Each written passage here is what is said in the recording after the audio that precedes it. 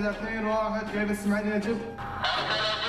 أمامي دبابة على مسافة 1200 يمكن التعامل معها. أجب؟ قم بالتعامل معها؟ انتهى تدر على الهدف أرمي. شوت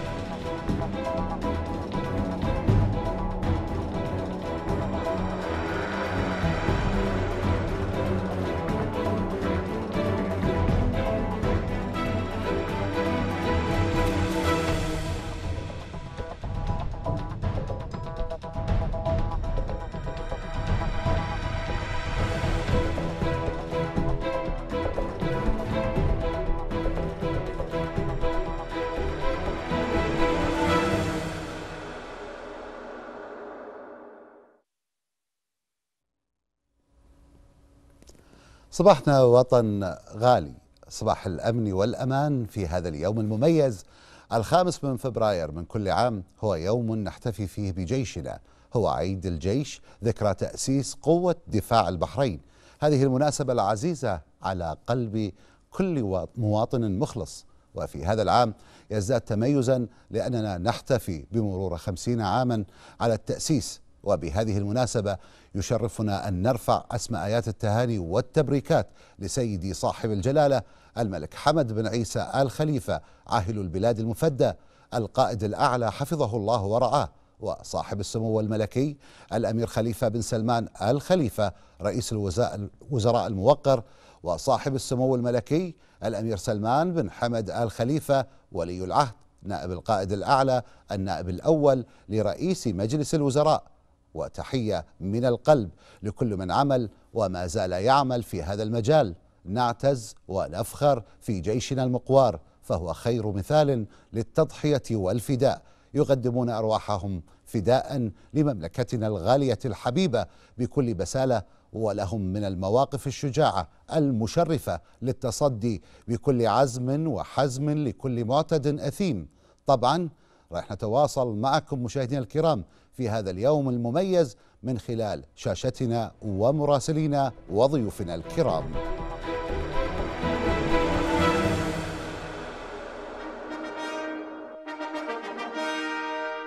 ولا يسعنا في هذا المقام إلا أن نعرب عن عظيم فخرنا واعتزازنا بجهود قوة دفاع البحرين.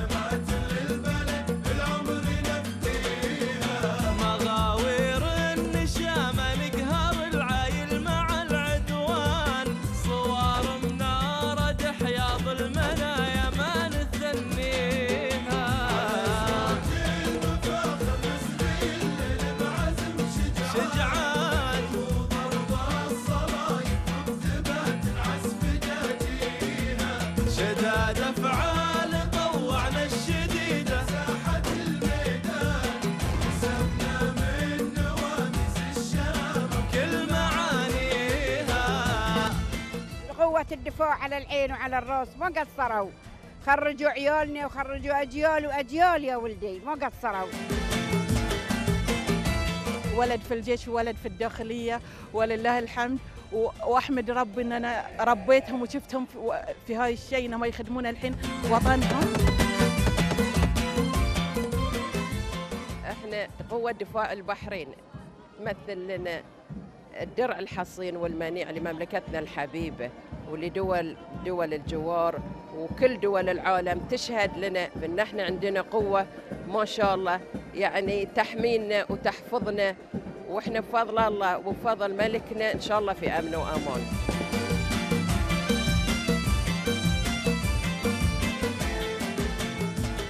نحب إحنا جلالة الملك ورئيس الوزراء ولي العهد وهذه طبعا شيء يعني ال- المفروض على كل مواطن إنه هو يخدم في قوة الدفاع وإنه يكون هو السد المنيع لوطننا العزيز في ظل قيادتنا الحكيمة.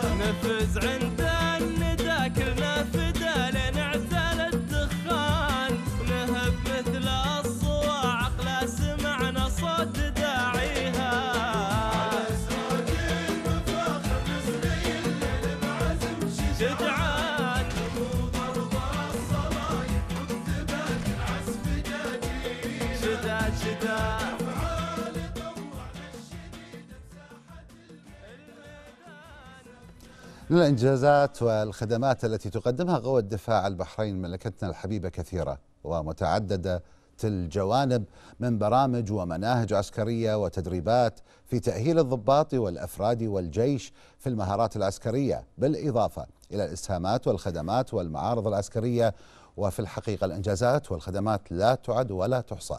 راح نتعرف على أبرز هذه الإنجازات والخدمات مع ضيوفنا في الاستديو أرحب بداية باللواء الركن بحري يوسف أحمد مال الله السبت مساعد رئيس هيئة الأركان الامداد والتموين. صباحك الله بالخير. يا مرحبا. يا مرحبا بك معنا ونتشرف اليوم. في هاليوم لنا. الجميل ان إحنا نكون فيه معاكم. شرف لنا. ويسعدني أن أرحب أيضا بمدير شؤون الضباط اللواء الركن محمد عبد الله الأحمد مدير شؤون الضباط والأفراد. صبحك الله بالخير. صباحك الله بخير حياك الله معنا ونتشرف وجودكم معنا. نتشرف. وأيضا معنا اللواء حقوقي الدكتور يوسف راشد فليفل رئيس القضاء العسكري رئيس محكمة التمييز العسكرية. صباح الخير. صباحكم الخير. حياك الله معنا. كل عام. وأنتم بخير. وأنتم بخير الله يسلمك. وأيضا أرحب باسمكم أيضا بالعميد المهندس الدكتور عبد العزيز فضل البعينين مدير الأشغال العسكرية صباحك الله بالخير. صباحك بالخير. الله يحييك. مشاهدينا الكرام مع ضيوفنا الكرام راح نبتدي حلقتنا ولكن بعد أن نكون معكم مع هذا التقرير. في إطار تعزيز القدرة الدفاعية لقوة الدفاع تحتفل مملكة البحرين بالذكرى الخمسين لتأسيس قوة دفاع البحرين التي أولاها حضرة صاحب الجلالة الملك حمد بن عيسى آل خليفة القائد الأعلى حفظه الله ورعاه عبر تخطيطه لبناء منظومة عسكرية وفق أحدث الأنظمة والإمكانيات. لا يخفى على الجميع بأن تأسيس قوة دفاع البحرين أتى بإشراف ورعاية مباشرة من آه، حضرة سيدي صاحب الجلالة الملك حمد بن عيسى آل خليفة عاهل البلاد المفدى حفظ الله ورعاه. وحققت قوة دفاع البحرين نموا بارزا في شتى المجالات العسكرية والإدارية وعلى سبيل المثال دخول المنظومات الدفاعية آه، المتطورة بالإضافة إلى الخدمات الفنية والطبية والإسكانية وكذلك البعثات العلمية حتى أصبحت تواكب القوات المسلحة الحديثة. من حيث التسليح والتدريب لأداء مهامها الوطنية والإقليمية والدولية حتى نالت الإعجاب والثناء على قدراتها التنظيمية والتكاملية في إمكانياتها العسكرية والإدارية وكذلك التدريبية. هذا الشوط البعيد المدى قطعت به قوة الدفاع في بناء الجندي المقاتل الكفء وإعداده نفسيا وبدنيا وقتاليا انطلاقا مع تطورات العصر التكنولوجية. التمارين هذه لها أهداف وتحقق آه، أهداف وغايات القيادة الأعلى لرفع المستوى والكفاءة القتالية لدى الوحدات. آه، والاهتمام بالتمارين المشتركة يأتي ضمن خطط مبرمجة لرفع الكفاءة القتالية والإدارية لوحدات قوة الدفاع والقصد منها التنسيق وتبادل الخبرات والارتقاء بمستوى الأداء القتالي وكذلك المحافظة على الإيجابيات وتطويرها ومعالجة السلبيات اللي تظهر من خلال هذه التمارين بهدف اللي هي رفعة ورقي هذه الوحدات ورفعة اللي هي مستوى الجاهزية القتالية لدى هذه الوحدات. رجال قوة دفاع البحرين البواسل هم اليد الضاربة لكل من تسول له نفسه العبث بمقدرات الوطن وهم المثال الصادق لما يتسمون به من سمات الشجاعة والجاهزية القتالية والولاء والتضحية.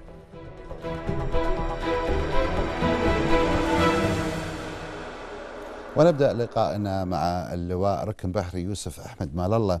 لو نتحدث يعني عن إنجازات قوة دفاع البحرين على المستوى العسكري فهي متعددة.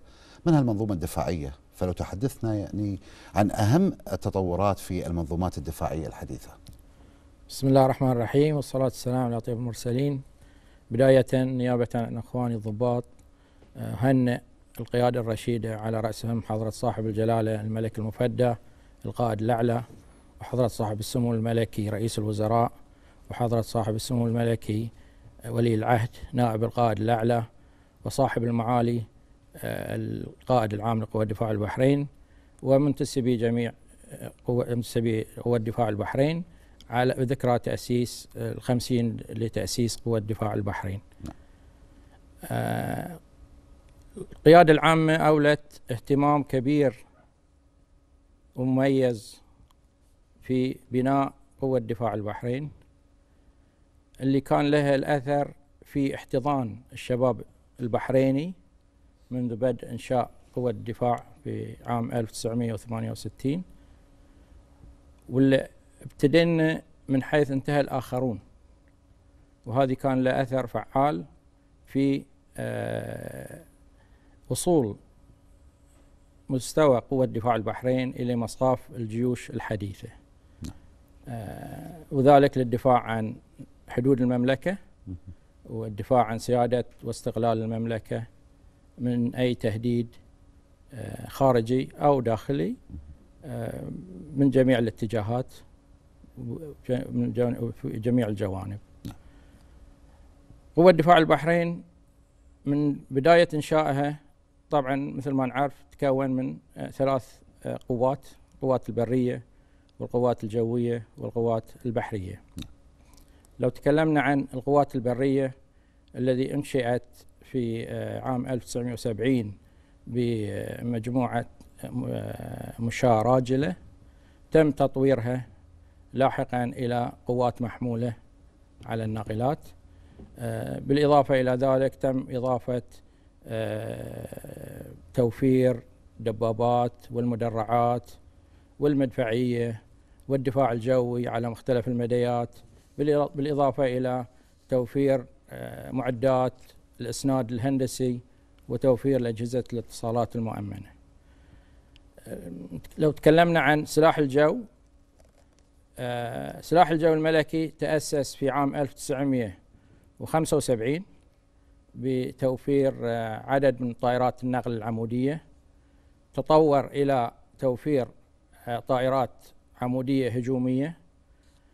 في ذاك الأثناء ارتأى سيدي حضرة صاحب الجلالة بإدخال الطائرات المقاتلة من طراز الفا خمسة وذلك تمهيدا آه، لدخول منظومة آه، طائرات المقاتلة ال F 16 تم بدء تدريب الطيارين والكوادر الفنية على طائرات ال F 5 ومن ثم تم انتقالهم إلى طائرات ال F 16 اللي هي تعتبر من أحدث طائرات المقاتلة في وقتنا الحاضر.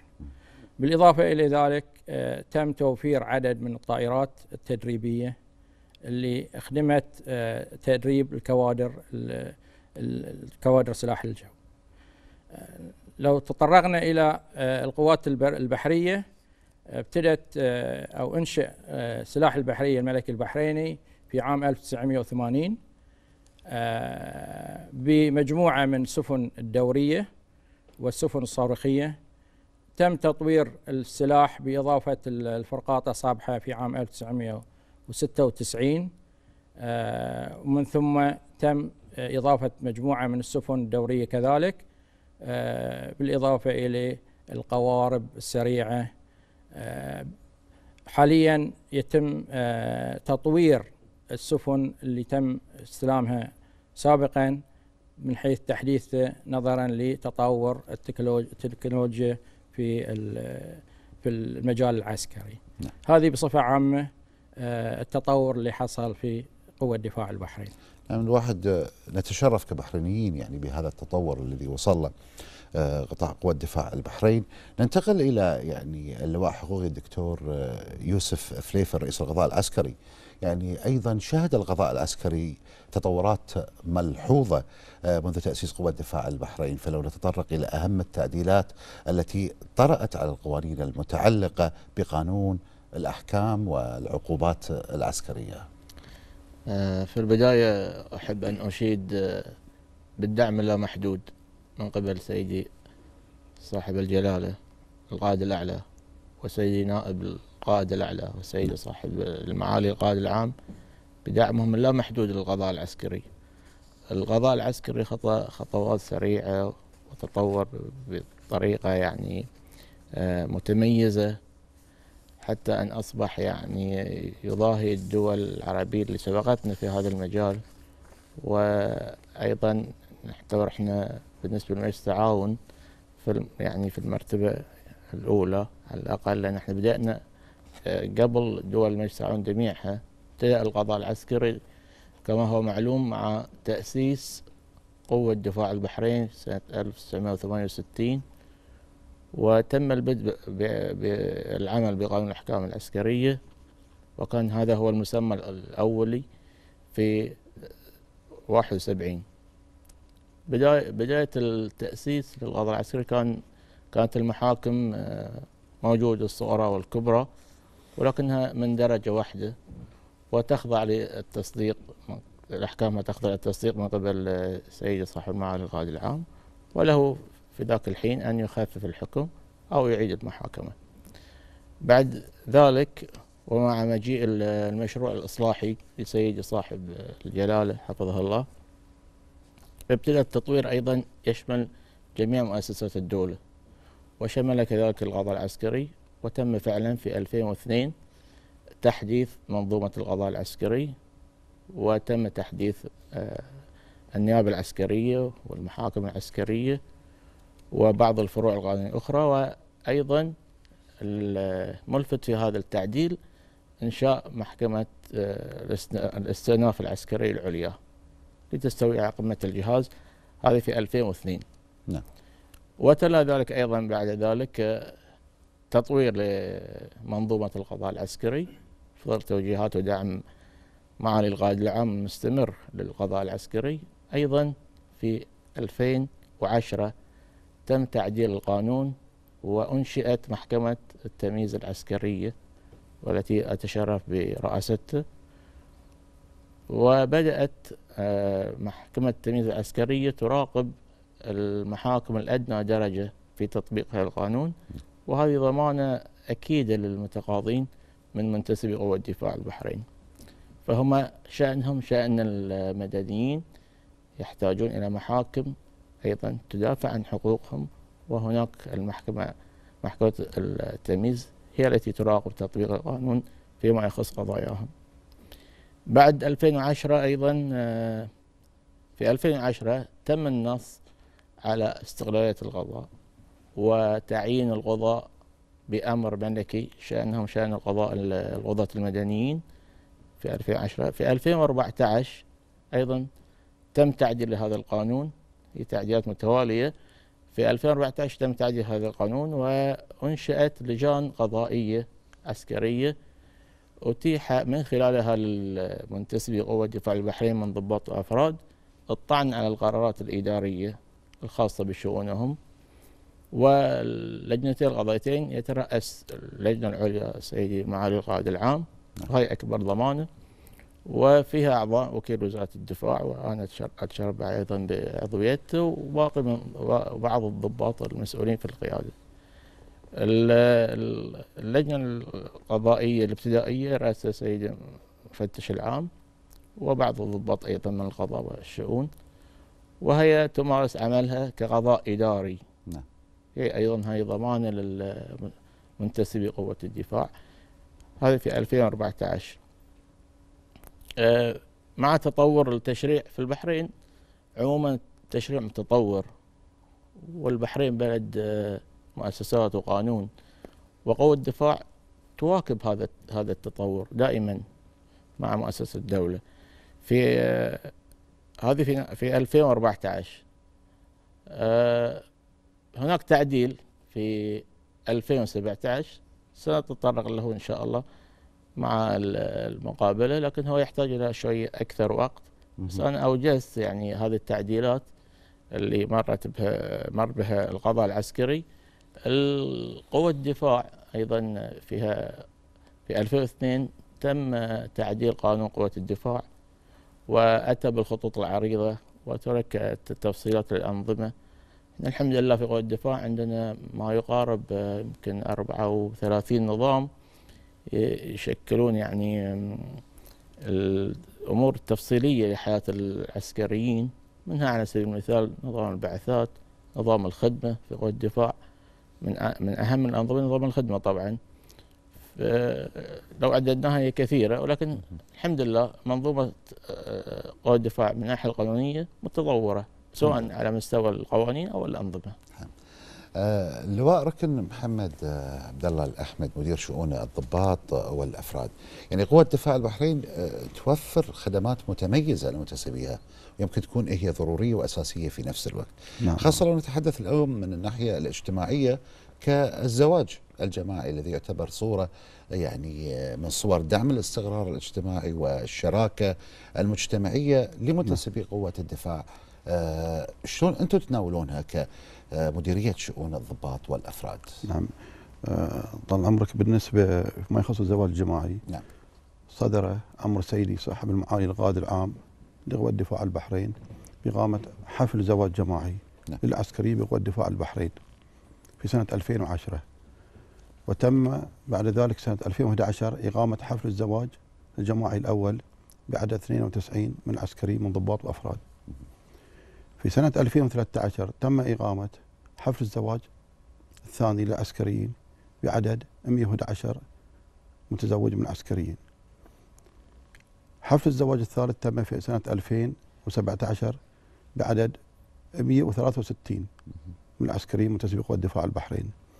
جميع الاحتفالات هاي تمت تحت رعاية سيدي صاحب المعالي القائد العام لقوى الدفاع البحرين ودعوة كبار المسؤولين وأهالي المتزوجين. فهذه طال عمرك بالنسبة ما يخص الزواج الجماعي. فنلاحظ بأن هناك اهتمام كلي وأساسي في هذه الناحية الاجتماعية من نعم. آه الاهتمام بالزواج الجماعي من كبار القيادات في قوى الدفاع البحرين يعني اللواء آه ركن آه محمد يمكن رايح ناخذ تفاصيل أكثر عن أمور كثيرة تتعلق في مجالكم ولكن نرجع إلى العميد مهندس الدكتور عبد العزيز فضل البعينين بدنا لو تكلمنا بشكل عام عن المشاريع الإنشائية الخاصة بقوة آه دفاع البحرين خاصة فيما يتعلق بالبنية التحتية وصيانة المنشآت. بسم الله الرحمن الرحيم. في الواقع آه، جميع المشاريع اللي قامت بها مديرية الأشغال العسكرية والتي سوف تقوم بها إن شاء الله ما هي إلا بكورة لرؤى آه، سيدي صاحب الجلالة القائد الأعلى لقوة دفاع البحرين والدعم المستمر من قبل سيدي صاحب السمو الملكي الأمير سلمان بن حمد آل خليفة آه، ولي العهد نائب القائد الأعلى النائب الأول لسمو رئيس الوزراء وكذلك بدعم من سيدي صاحب المعالي القائد العام لقوة دفاع البحرين المشير الركن الشيخ خليفة بن أحمد آل خليفة. مديرية الأشغال العسكرية تقوم بتنفيذ خطتين مبرمجتين. نعم. وذلك بعد إقرارها من سيدي صاحب ال- المعالي القائد العام لقوى الدفاع البحرين. والخطتين خطة إنشائية والتي تحتوي على البنى التحتية كذلك وهي مبرمجة على مدى سنتين. والخطة الأخرى هي خطة الصيانة وهي خطة سنوية آه، بحيث نحافظ على صيانة وإدامة جميع المنشآت والخدمات الخاصة بقوة دفاع البحرين. تكون مهمة الأساسية لمديرية الأشغال العسكرية هي آه، تصميم آه، المنشآت والمشاريع الهندسية وبذلك طرحها عطاء حسب نظام قوة دفاع البحرين. وبعد ذل- ذلك نقوم بالإشراف والمتابعة لهذه المشاريع حتى إكمالها بأكمل وجه. مساعد رئيس هيئة آه، الأركان اللواء آه، ركن بحري يوسف آه، مال الله. يعني آه، صفقات عسكرية ناجحة أتممتها القيادة العامة من صفقات الأسلحة وصفقات الطائرات المقاتلة. لو تحدثنا عن أهمية هذه الصفقات لتطوير نظام الدفاع بالسلك العسكري. وبالنسبة للتطوير آه، طبعا مستمر دائما آه، القيادة العامة لقوى الدفاع البحرين تنظر إلى تطوير جميع المنظومات والأسلحة والمعدات المتوافرة حاليا أو إضافة معدات وأنظمة جديدة في قوة دفاع البحرين. آه، تطلبها الظروف آه، المحيطة بحيث أن بعض الأنظمة وبعض الأسلحة آه، تنتهي مفعولها تنتهي مدتها فيحتاج استبدالها وتوفير الأحدث منها. نعم. بعض المنظومات ممكن في بالإمكان التطوير عليها من خلال إضافة برامج أو أو آه، معدات إضافية بحيث أنه تطور من كفاءته وذلك لتتماشى مع ال- الدول المحيطة الدول المتقدمة بالنسبة حق جميع المنظومات.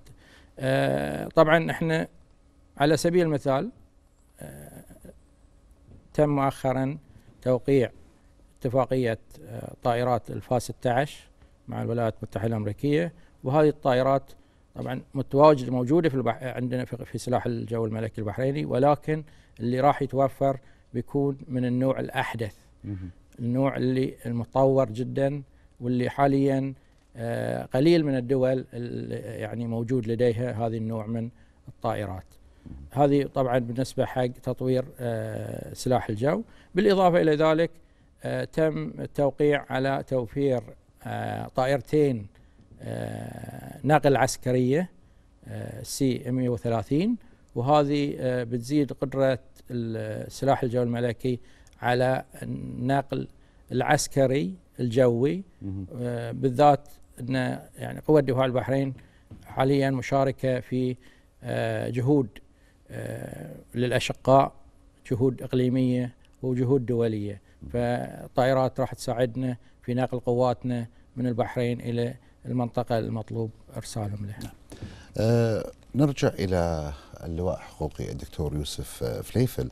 يعني هناك قانون رقم 12 آه، لعام 2017 تم تعيين آه، خلال هذا القانون اختصاص القضاء العسكري المدنيين غير منتسبي قوة دفاع البحرين فما هو مدى هذا الاختصاص وأنواعه؟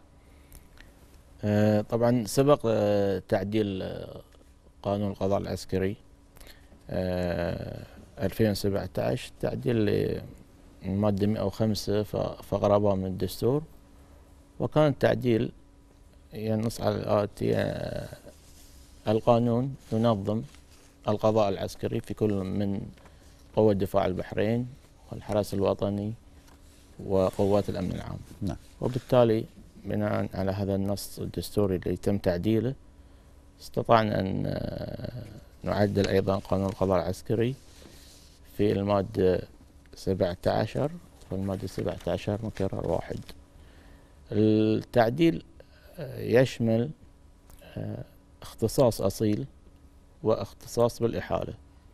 الاختصاص الأصيل للقضاء العسكري هو عندما يتم اعتداء أي من المدنيين على منشآتنا معسكراتنا طائراتنا سفننا آه، وثائقنا العسكرية أسرارنا العسكرية.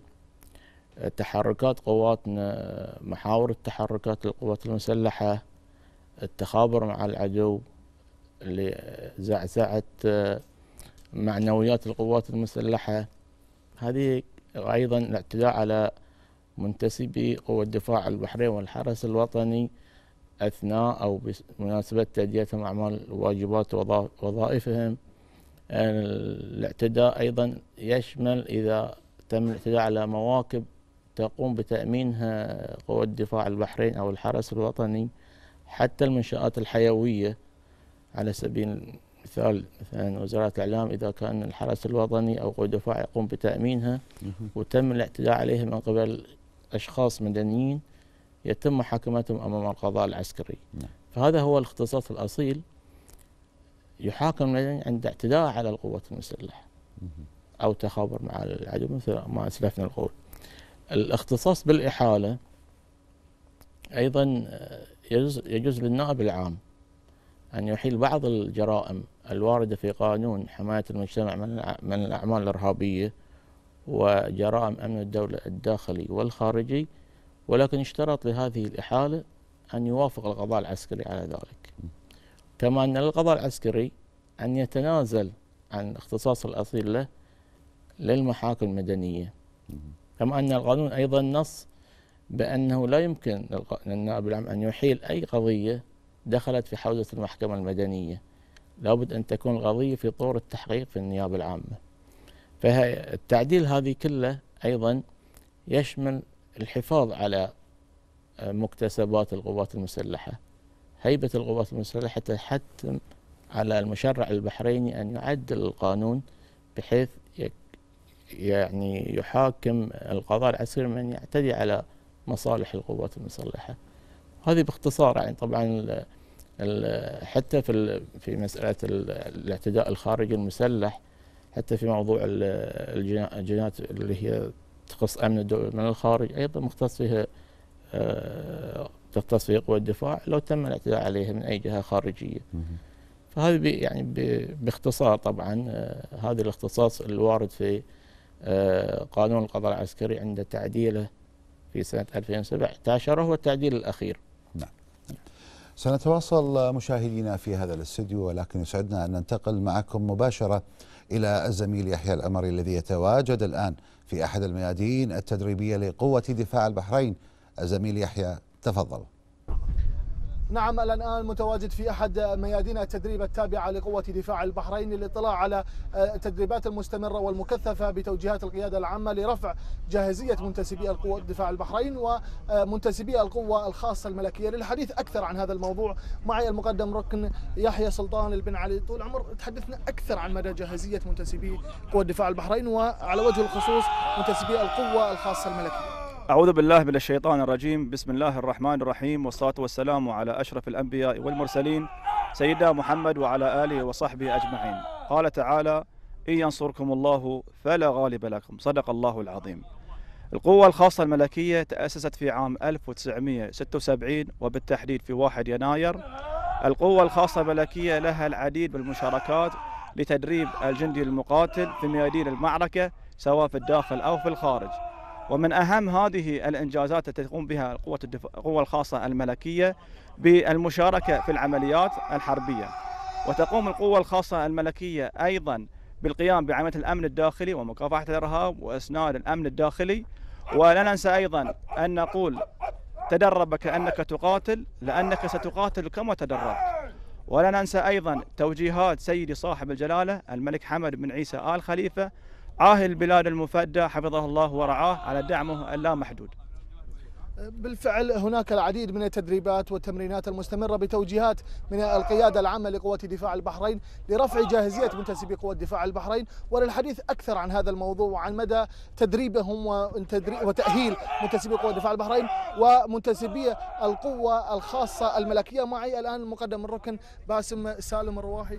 طول عمر تحدثنا أكثر عن آلية التدريب والجاهزية التي نراها في مثل هذه التمرينات. بسم الله الرحمن الرحيم.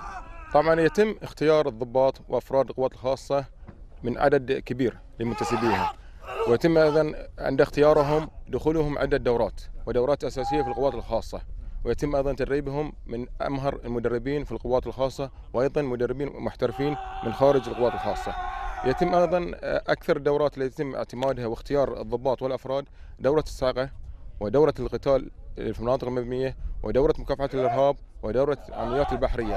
هاي تعتبر أساسيات الدورات وهذه المدربين الذي يدربون آه، الدورات اكتسبوا خبرة منذ تأسيس 1976 إلى وقتنا الحاضر ومرور 50 سنة اكتسبوا الخبرة في تدريب هذه الضباط والأفراد لكسبهم مهارات عالية وتدريبات عالية وإتقانهم جميع ال- الحركات والرمايات بمهارة عالية. وأيضا ضباط وأفراد القوات الخاصة الملكية وازوا القوات والخاصات ال- ال- القوات الخاصة من خارج من الدول الاخرى الأجنبية والدول الصديقة والشقيقة. شكرا جزيلا طول العمر. آه، بالفعل آه، هناك جاهزية عالية وهناك تمرينات مكثفة وتمرينات احترافية كما نراها هنا في هذا التمرين المستمر الآن. آه، هناك جاهزية عالية لها لها مستقبل كبير بما بما يشيد به مدربو هذه القوات التي بالفعل يفتخر بها كل مواطن بحريني للذود عن مصالح هذا الوطن والحفاظ على أمنه ومصالحه داخل وخارج مملكة البحرين. هذا كل ما لدي الآن. سنوافيكم بالتفاصيل لاحقا. شكرا آه، للزميل يحيى الأمري آه، ومتواصلين معاكم والإنجازات متعددة وإحنا اليوم نحاول أن نسلط الضوء على مجملها وأهمها من إنجازات للتنمية البشرية وأيضا آه، الإنجازات الاقتصادية والقانونية والطبية التي حققتها قوة الدفاع فهناك مسؤوليات كبيرة تتحملها قوة دفاع البحرين للارتقاء بالخدمات المقدمة للوطن والمواطن. العميد آه، مهندس الدكتور آه، عبد العزيز فضل البعينين يعني يمكن نتحدث اليوم عن مديرية الأشغال العسكرية واهتمامها واهتمام قوة دفاع البحرين بتوفير الرفاهية الاجتماعية والحياة الكريمة لما منتسبيها من خلال توفير مشروع الوحدات السكنية. فبودنا لو نتعرف عن الوحدات السكنية اللي تم تقديمها سابقا والآن والمستقبل والإحصائيات التي آه، تتناول هذا الموضوع. نعم. آه، المشاريع الإسكانية في نوعين. آه، نسميه سكن مؤقت. نعم. اللي هو نسميه سكن وظيفي وسكن تمليك. نعم. بالنسبة عن السكن الوظيفي تقوم مديرية ال- ال- الأشغال العسكرية بتنفيذه. ويسكن فيه آه، منتسبي قوة دفاع البحرين آه، لما تجهز المساكن ال- الدائمة لهم من قبل وزارة الإسكان بالتعاون مع مديرية الأشغال العسكرية. ولحد الآن آه، عفوا مؤخرا آه، تم توزيع 138 شقة. معظم السكن ال- الوظيفي نروح عمودي كشقق لسد احت- الاحتياجات منتسبي قوى الدفاع البحرين. نعم. بالنسبة لسكن التمليك ذلك بالتعاون مع وزارة الإسكان. فقد تم توزيع آه، المرحلة ال- الأولى من إسكان آه، وادي السيل. آه، اللي كان يحتوي على آه، 774 وحدة سكنية. ذلك كان عام 2011 من قبل سيدي صاحب السمو الملكي الأمير سلمان بن حمد آل خليفة ولي العهد النائب الأول لسمو رئيس الوزراء. وفي عام 2014 تم توزيع كذلك آه، 217 وحدة سكنية و98 قسيمة. آه، في آه، كانت المرحلة الثانية من إسكان مدينة زايد. قبل ذلك في الواقع آه، تم توزيع 252 وحدة سكنية في مدينة حمد في مناطق مختلفة يعني من المملكة. آه، بالنسبة عن الوحدات السكنية السابقة آه، تم توزيع 350 وحدة سكنية كسكن وظيفي وليس تمليك. آه، قسائم السكنية كان 159 قسيمة سكنية. وبالنسبة حق الشقق آه، تم في الواقع مو بتوزيع ولكن توفير. 66 شقة كسكن آه، وظيفي كذلك. إذا نتكلم عن المشاريع المستقبلية فبالطبع هنالك في مشاريع مستقبلية إسكانية. حد هذه المشاريع اللي هي آه، المرحلة المرحلة الثانية من إسكان وادي السيل. اللي بتضم آه، 106 167 وحدة سكنية. آه، والمر والمرحلة هي مرحلة أولى في الواقع ما بعدها مرحلة ثانية لإسكان قلالي. واللي بيظل بي بي آه، بيحتوي على 213 وحدة سكنية. وإن شاء الله يبدأ العمل في هالمشروعين في شهر سبتمبر من 2018 هذا العام. آه، أما المرحلة الثالثة من وادي السيل فنتوقع إن شاء الله العمل فيها في سنة 2019 بإذن الله مدة تنفيذ ال- المرحلة الثانية من وادي السيل وإسكان قلالي بيكون 15 شهرا بدءا من آه، تاريخ البدء بالعمل اللي هو شاء. سبتمبر طبعا آه، مشروع جدا كبير ويخدم شريحة مهمة في بالتأكيد. المجتمع البحريني. بالتأكيد. نعم. اللواء الركن آه، بحري يوسف أحمد مال الله. يعني آه، نتحدث عن الخدمات الميسرة للعسكريين. آه، يعني وفرت قوة الدفاع المؤسسة الاستهلاكية الاقتصادية. بودنا لو نتعرف عنها بشكل أكبر وعن الهدف من توسعتها لتلبي كافة الاحتياجات. ال- القيادة العامة أولت اهتمام كبير بالعنصر البشري في قوة دفاع البحرين. وركزت على توفير السلع والخدمات والمواد الغذائية اللي حاليا توفر من قبل المؤسسة الاستهلاكية والاقتصادية العسكرية أنشئت عام 1985 آه، الهدف من ال- ال- المؤسسة ليس هدف ربحي آه، وإنما آه، هدف توفير الخدمات لمنتسبي قوى الدفاع البحرين بالإضافة إلى مواطنين المملكة. الجميع ممكن يستفيد من المؤسسة الاستهلاكية الاقتصادية العسكرية. ما في أي تحديد. أي واحد ممكن يدخل وي- وياخذ ال- الأشياء اللي هو يحتاج لها من مواد غذائية أو سلع. طبعا المؤسسة كذلك تخدم قوة دفاع البحرين تخدم الوحدات والتشكيلات من خلال آه، ال- الاحتياط الاستراتيجي للمواد الغذائية آه، اللي يعني ممكن في يوم أو في أوقات الأزمة أو أوقات الحروب آه، ما توجد في السوق. فالمؤسسة هي تعتبر احتياط استراتيجي لقوة دفاع البحرين من تخزين جميع المواد. يمكن أيضا بدنا نتعرف على مشروع مجمع وادي السيل اللي يمكن حقق آه، نقلة نوعية وخدمة مجتمعية يمكن لغير منتسبي قوه الدفاع وأهم أنه يمكن ساهم في خلق العديد من آه، الوظائف للمواطنين فهل يعني آه، هناك نجاحات خدمية أخرى سجلتها قوه الدفاع في الآونة الأخيرة؟ آه، لو تكلمنا عن مجمع وادي السيل هو نتاج لعطاء المؤسسة الاستهلاكية. يعني من المشاريع الرائدة اللي نتجت عن عمل المؤسسة الاستهلاكية آه، أنشئ المجمع على مساحة يعني آه، معقولة من من من ال ال الأرض. آه، طبعا ال- ال- الإشراف والتنفيذ كان بإشراف مديرية الأشغال العسكرية. المجمع يخدم منتسبي قوة الدفاع ويخدم جميع القاطنين في المحافظة الجنوبية. يمكن نعتبره أول مجمع ينشأ في المحافظة الجنوبية آه، بالحجم اللي هو موجود فيه بالإضافة إلى آه، توفير آه، آه، يمكن شيء مميز اللي هو دور السينما في الم- في المحافظة الجنوبية.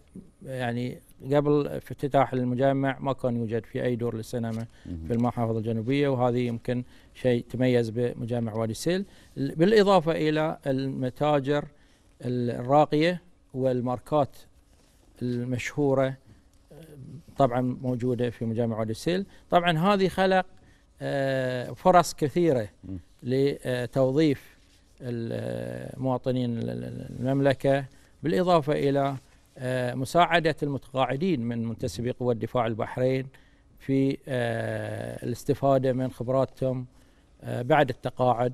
في مجالات الأمن في مجالات الصيانة مجالات النظافة في في المجمع. طبعا ال- المجمع هو جزء من المؤسسة الاستهلاكية. في عندنا جزء آخر وهي خدمة مميزة آه، تم آه، تدشينها وتم افتتاحها من قبل سيدي صاحب السمو الملكي ولي العهد في فبراير 1917 آه، 2017 آه، اللي هي قاعة نادي ضباط قوة دفاع البحرين. قاعة من أرقى القاعات في المملكة. نعم. تضاهي جميع القاعات المتوفرة في فنادق الخمس نجوم في في- في المملكة.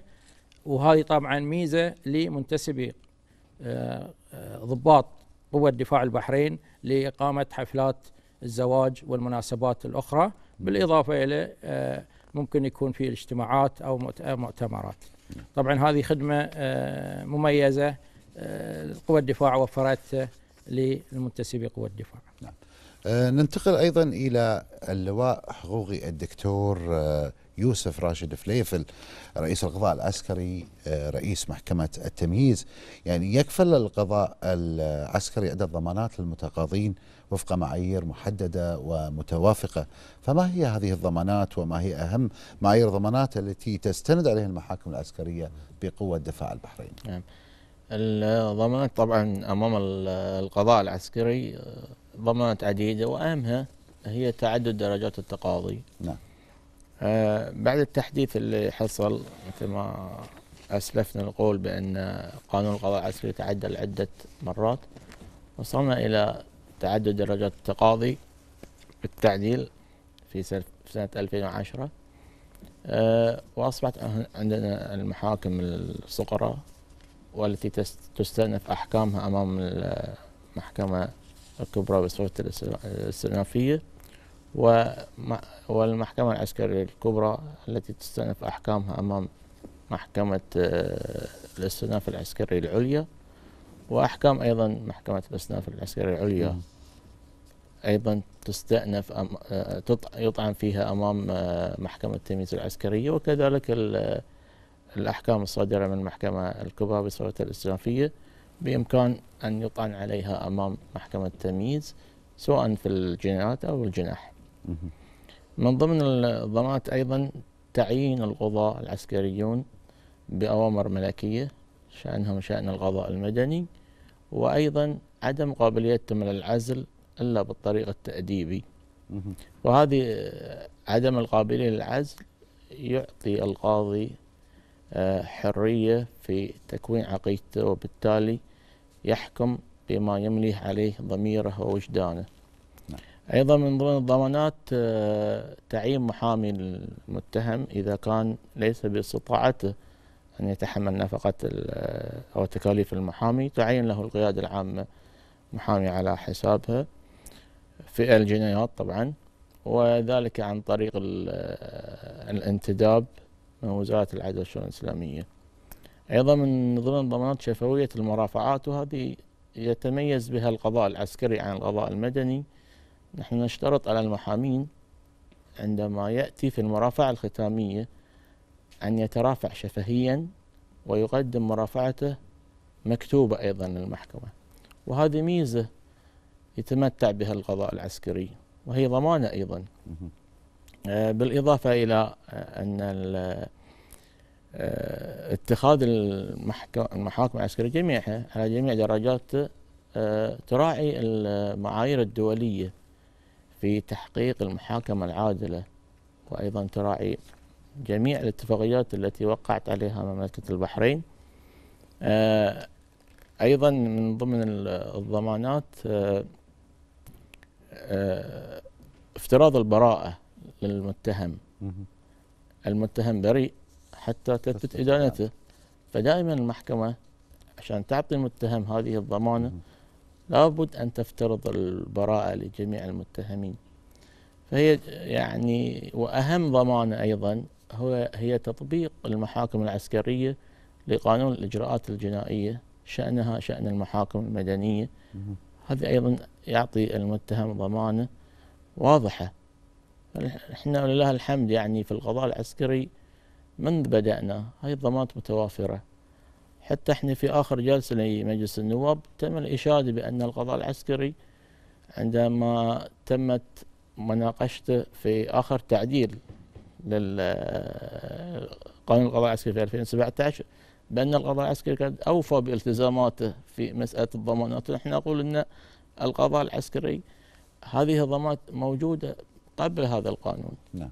الحمد لله يعني هذه توجيهات آه، واضحة في في في مسألة الضمانات. فأي قضاء يحترم نفسه يجب أن يحترم ضمانات المتهمين. والمتهمين مثل ما أنت تعرف أنهم يعني أخطأوا وينالون العقاب اللي يتناسب مع جريمتهم لو أن يتناسب تتناسب العقوبة مع الجرم المرتكب. هذه معظم يعني معظم الضمانات اللي متوفرة في القضاء العسكري على حد سواء أيضا مع القضاء المدني. يعني يمكن لا تقتصر هي مهام القضاء العسكري على الجوانب القانونية والقضائية فقط. يعني هل هناك خدمات مجتمعية تلبي مختلف الاحتياجات متطلبات؟ لو تكلمنا عن هذه الخدمات الموجودة يمكن تكون فيها دورات أو تدريبات أو ورش أي إلى نعم. آخره القضاء العسكري يقدم خدمات مجتمعية للأبنائنا الطلبة في الجامعات في كليات الحقوق نعم.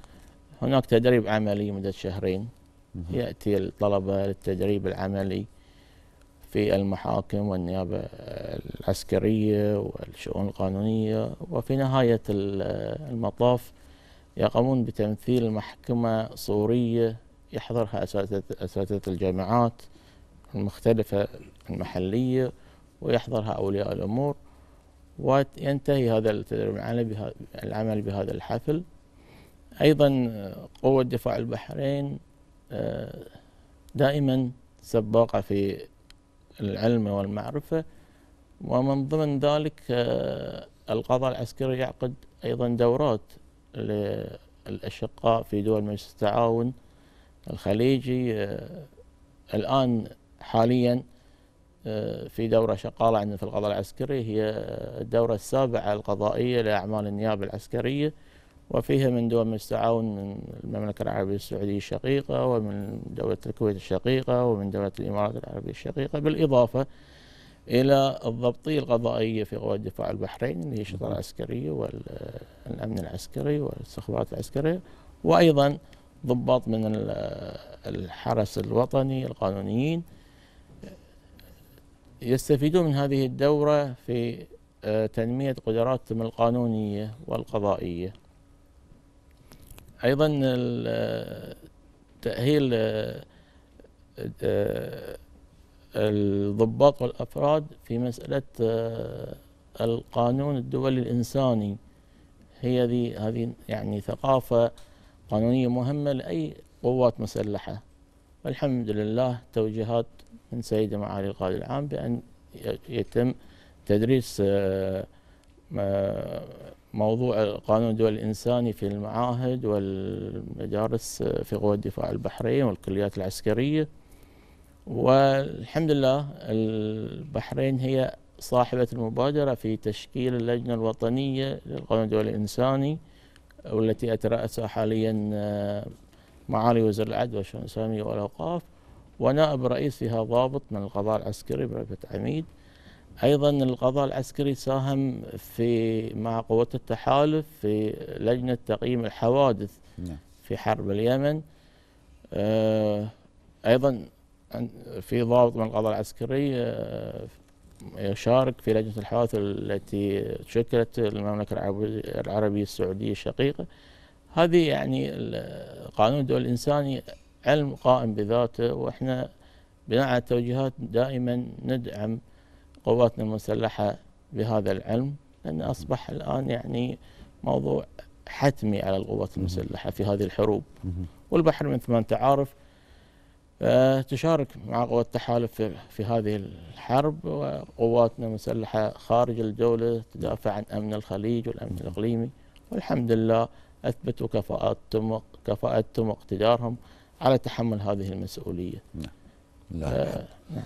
يعني آه، العميد آه، مهندس الدكتور آه، عبد العزيز فضل بعينين آه، يمكن نشهد في الفترة الأخيرة كثير من الأمور آه، في الإنجازات الطبية اللي حققتها قوات دفاع البحرين أن بدينا بالتوسعات اللي شاهدناها قبل فترة أو انتقلنا إلى يعني آه، مركز آه، محمد بن خليفة التخصصي للقلب المركز الجديد بعوالي يعني هذا ال- حسب ما وصلنا مجهز بأفضل الأجهزة على مستوى العالم. بودنا نتعرف أيضا من خلالكم على هذه المراكز وهذه التوسعات وصولا إلى مستشفى الأورام يعني بمستشفى الملك حمد جامعي اللي رايح يقدم علاجات متقدمة لأمراض الأورام السرطانية.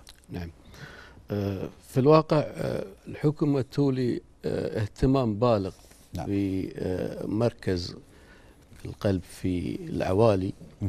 و ولله الحمد آه، تقريبا يوشك على الانتهاء العمل بهذا المشروع في يونيو 2018 بإذن الله. آه هذا المركز راح يقدم 148 سرير فحص وعلاج لأمراض القلب. وممكن زيادتها آه، إلى 30 آه، سرير إضافية. نعم. و الكلفة في الواقع مثل ما تفضلت عن الأجهزة الطبية. الأجهزة الطبية هذه مختصين فيها عندنا الأطباء آه، في قوة دفاع البحرين. ولكن بالنسبة للكلفة لهذا المشروع بالتحديد فتقدر ب آه، 15 مليون دينار بحريني. وهذا المشروع صراحة بيكون مشروع استراتيجي هام يقدم الخدمات إن شاء الله ليس فقط للمواطنين في البحرين ولكن لكل المواطنين في منطقة مجلس التعاون الخليجي أو المناطق اللي آه، ممكن تستفيد من هذه الخدمات نعم. بالنسبة عن آه، توسعة توسعة العيادات الخارجية في آه، مستشفى في المستشفى العسكري ف آه، قيادة الخدمات الطبية الملكية تولي اهتمام في الواقع بتطوير هذه المراكز الطبية بأحدث آه، المعدات الطبية العلاجية. والمشروع آه، كذلك آه، بدأنا فيه. ومن المتوقع بإذن الله على نهاية 2018 ننتهي من من هذا المشروع. في عندنا مشروع مهم جدا بعد اللي ما تفضلت اللي هو الأورام. نعم. إي آه اسمح لي بس لأن عندي بعض الستاتستكس هني موجودة. نعم. ممكن نرجع لها إذا أمكن. تفضل. آه بالنسبة حق الأورام اللي هو في مستشفى ال- الملك حمد آه ال- ال- الأخبار ال- ال- ال- الطيبة إن إن شاء الله الشهر الجاي يفتتح بإذن ما شاء الله الله إن شاء الله نعم. إن شاء الله. وهذا المشروع في الواقع يعني مرينا فيه كمهندسين بأوقات عصيبة نوعا ما مع المتعهد اللي يقوم بإنشاء المشروع. ولكن بفضل من الله سبحانه وتعالى وتوجيهات القيادة الرشيدة عندنا وتوجيهات بالتحديد معالي القائد العام لقوى دفاع البحرين آه، استطعنا أن نتجاوز المشاكل اللي مرينا فيها وإن شاء الله قريبا جدا يتم الافتتاح. شاء بإذن الله. الله إن شاء الله. ويستفيدون من آه، كل اللي يعانون من هذا المرض الخبيث. الله يشافيهم إن شاء الله. إن شاء الله. إن شاء الله.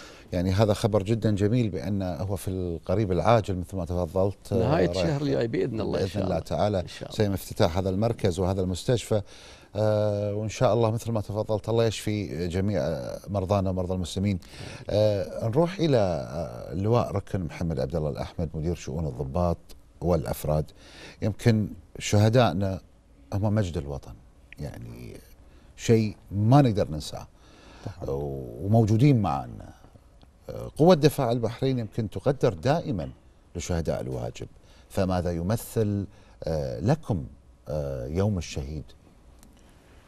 يوم الشهيد إن اختيار سيدي صاحب الجلالة الملك الملك المفدى حفظ الله ورعاه ليوم السابع عشر من ديسمبر من كل عام والذي يصادف عيد جلوس جلالته. ليكون يوما للشهيد. لهو أكبر تكريم من جلالته. لمتمثل هذه المبادرة الكريمة عمق ومكانة شهداء الوطن لدى جلالته والشعب باكمله.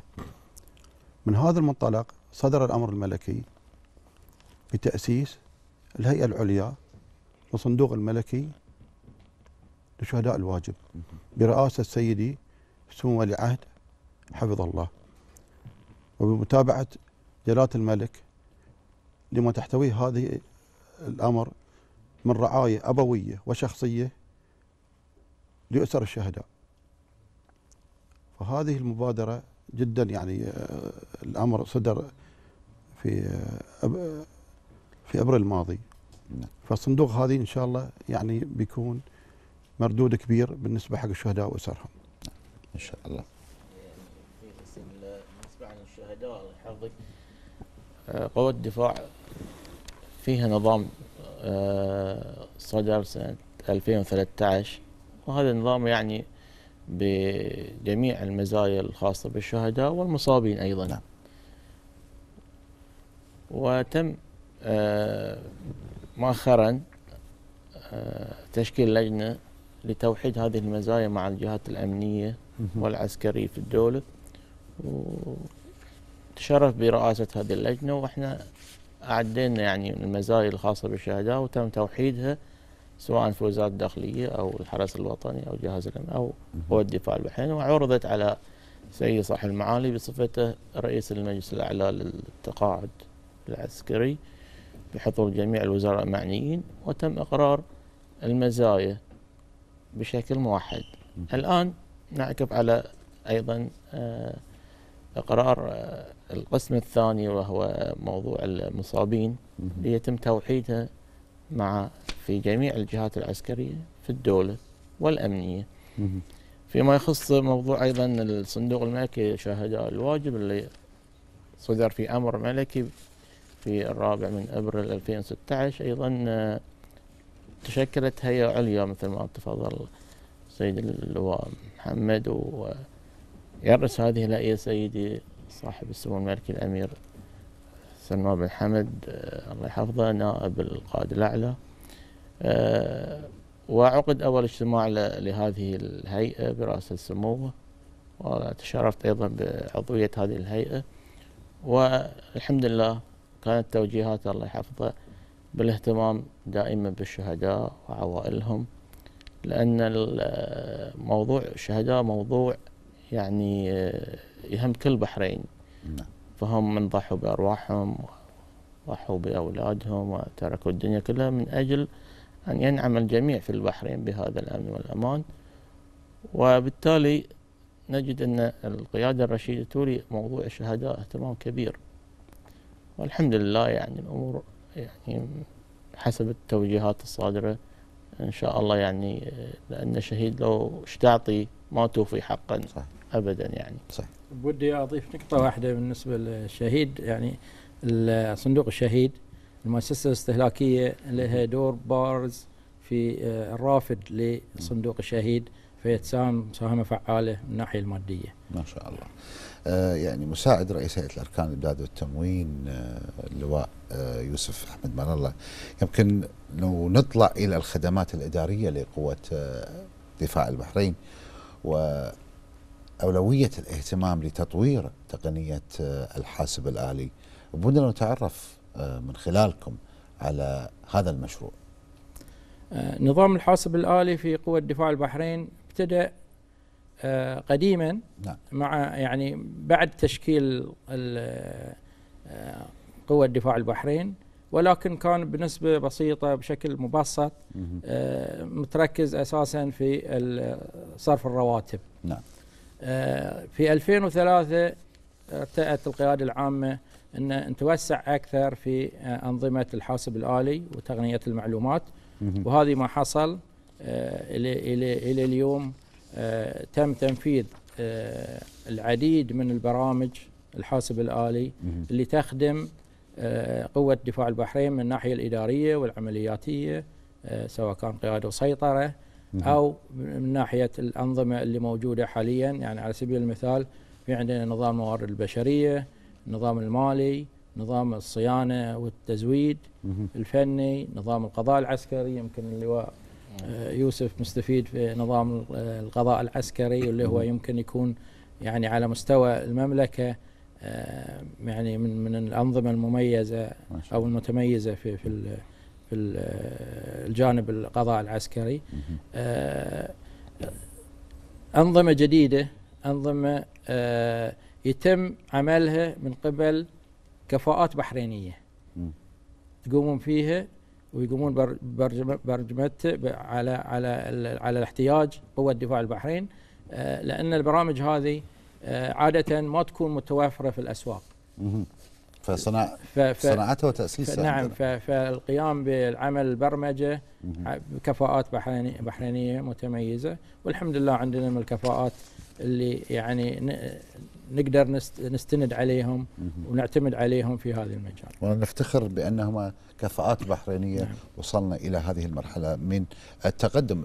اللواء آه، أخوي الدكتور يوسف آه، راشد فليفل يعني لو تحدثنا عن التطورات الغذائية العسكرية في كل ما يتعلق من الكوادر البشرية آه، وتوفير هالبرامج العسكرية. ولكن يمكن آه، نروح إلى يعني تمت الاستفادة من العنصر آه، النسائي والمرأة في العمل القانوني عندكم. فبودنا أن نتعرف كيف هي المهمات التي أوليت لها المرأة في المجال العسكري وخاصة في سلك الغذاء العسكري. المرأة طبعا على مستوى الدولة توليها اهتمام كبير. والعنصر النسائي في الغذاء العسكري أيضا قطع شوط كبير. آه، بإدخال أو بتشكيل نيابة التحقيق النسائي وتم آه، تجنيد ضابطات آه، بدرجة بدرجة وك- وكلاء نيابة. نعم. ويقومون هم بالتحقيق مع العنصر النسائي وأيضا الترافع.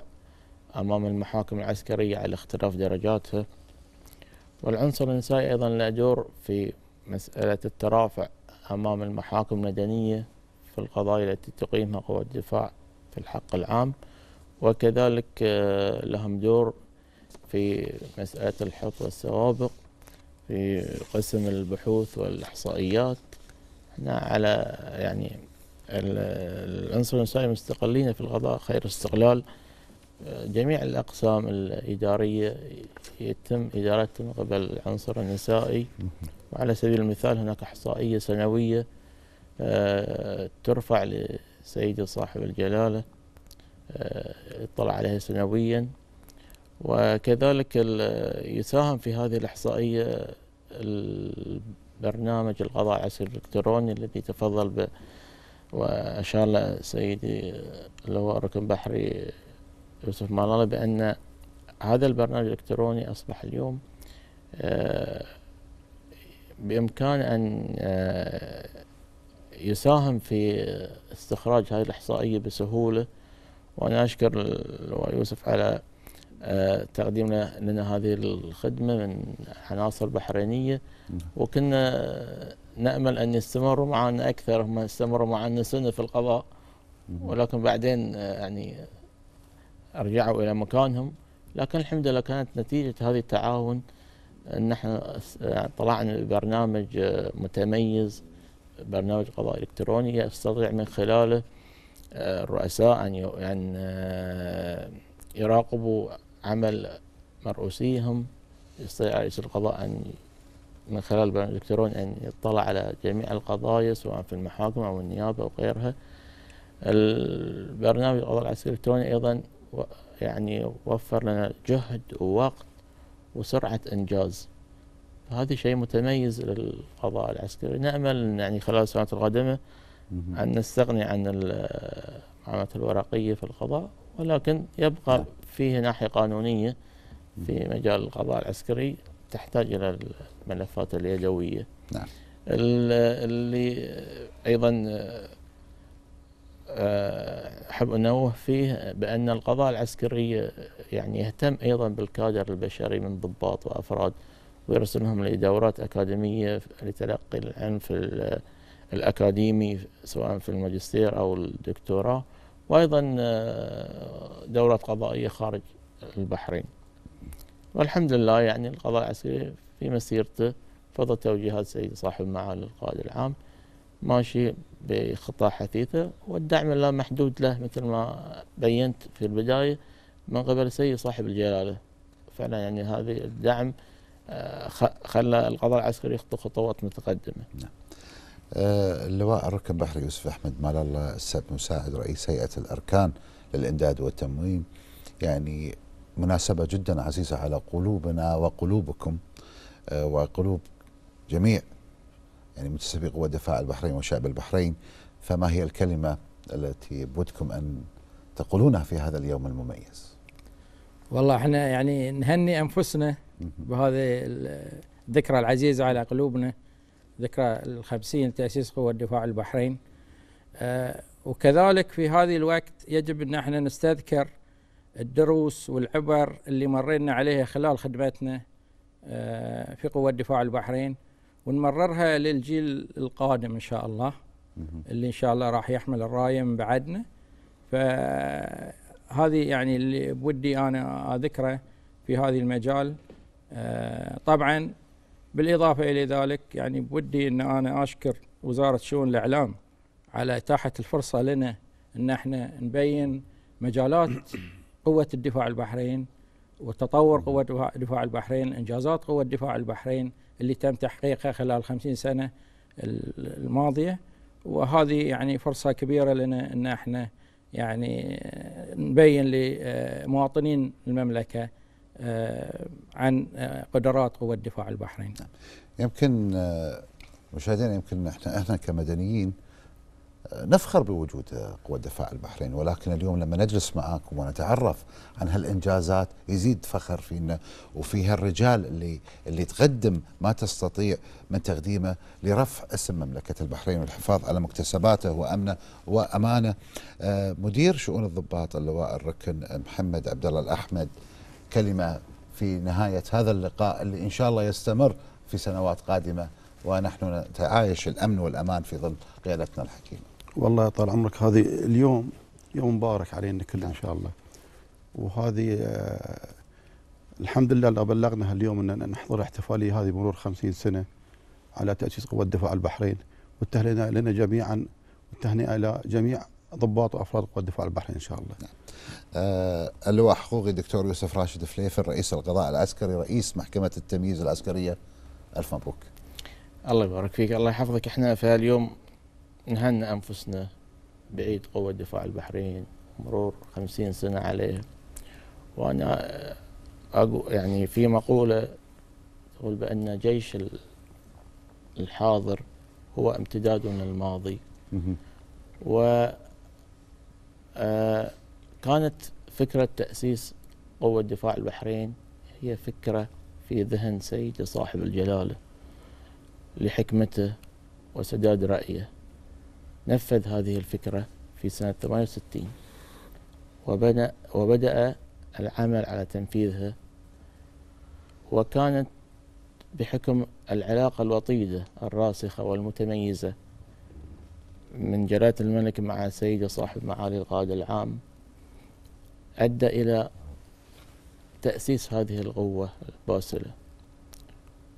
والبحرين إذا يعني المتمعن في تاريخها القديم نجد بأنها آه، مرت في مواقع آه، كثيرة ومن أهمها موقعة آه، أو معركة فتح البحرين بقيادة بقيادة المؤسس أحمد الفاتح والتي اعتبرت في حينها أن الدولة البحرينية الحديثة ككيان عربي إسلامي في سنة 1783 والقوات المسلحة قوة دفاع البحرين هي تستحضر هذه المواقع لتبني قواتها بالعلم والمعرفة بالسيف والقلم لتبقى قوة دفاع البحرين قوة حديثة متمرسة متطورة تعني بالعلم الحديث في تطوير قدرات منتسبيها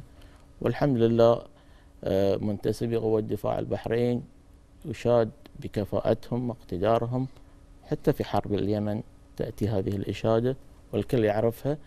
وذلك لم يأتي من فراغ وإنما من جهد كبير لسيد صاحب الجلالة حفظه الله وسيد صاحب المعالي وسيد نائب القائد الأعلى. كل هذه جهود أدت إلى أن تكون قوة دفاع البحرين في مصاف الجيوش المتطورة والحديثة. آه، إحنا في هذا المقام يعني آه، نهنئ منتسبي قوة الدفاع ولا ننسى أيضا المتقاعدين الذين تقاعدوا الدفاع فهم أيضا قدموا خدماتهم الجليلة لقوة الدفاع في تطويرها وهذه الأجيال تتعاقب على قوة الدفاع تكون قوة فعلا بإمكانها أن تحافظ على سلامة هذا الوطن ومنجزاته واستقراره العميد مهندس الدكتور عبد العزيز فضل البعينين مدير الأشغال العسكرية هذا اليوم الجميل وهذا اليوم نبارك لكم قبل أن نبارك لأنفسنا. ماذا تقول؟ لما تسوي قوة دفاع البحرين؟ في الواقع أنا أقول اللي تعلمناه في قوة دفاع البحرين فاق ما تعلمناه في الجامعات. وأنا شخصيا لي عظيم الشرف أني أنتمي لهذا الصرح العظيم قوة دفاع البحرين.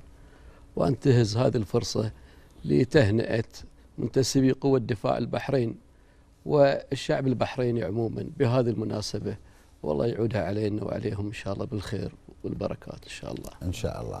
باسمكم آه، مشاهدينا الكرام كل الشكر والتقدير لكل من اللواء الركن بحري يوسف أحمد مال الله السبت مساعد رئيس هيئة الأركان للامداد والتموين مدير آه، أيضا ومدير شؤون الضباط اللواء الركن محمد عبد الله الأحمد آه، واللواء حقوقي الدكتور يوسف راشد فليفر رئيس القضاء العسكري رئيس محكمة التمييز العسكرية وأيضا العميد مهندس الدكتور عبد العزيز فضل بعينين مدير الأشغال العسكرية والشكر لكم على جهودكم المبذولة وهذه المعلومات القيمة التي حصلنا عليها هذا اليوم.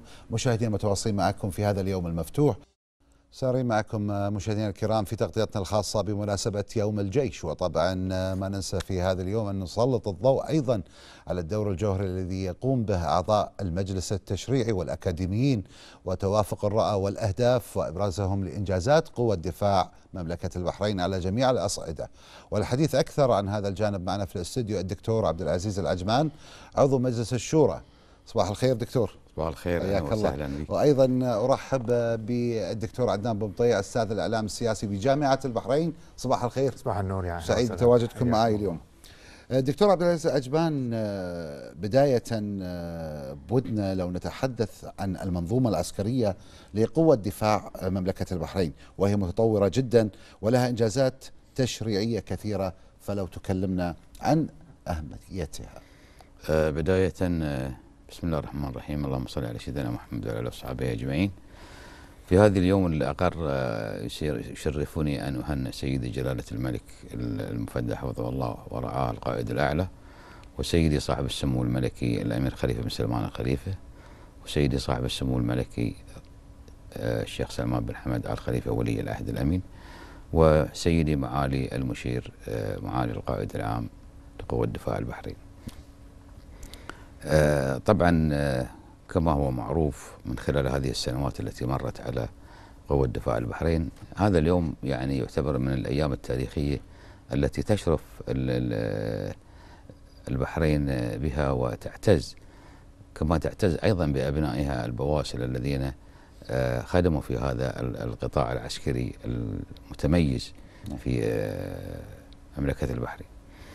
المنظومة العسكرية وتطورها كما سألت. طبعا المنظومة العسكرية دائما في تطور سواء كانت على المجالات ال- آه، مجال التسليح أو مجال ال- ال- ال- القدرات في الجاهزية.